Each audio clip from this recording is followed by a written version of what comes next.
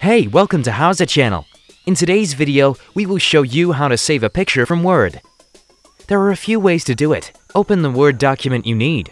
The first way is the easiest. Select the picture, press Ctrl C to copy the picture. Go to the Cortana search line and type Paint. Click on it to open the app. Press Ctrl V on your keyboard to paste the pic. Click on File and choose Save As. Set the path and save the picture. One more way to save the picture. Go to Word and click on File. Choose Save As. Set the file type to Web Page HTML. Save the file. You will get a folder with the name you gave to the file. For us, it is Howza Files. Open it. You have the picture inside. Enjoy! Thanks for watching the video. Please like it and subscribe to our channel. We upload new tutorials every day.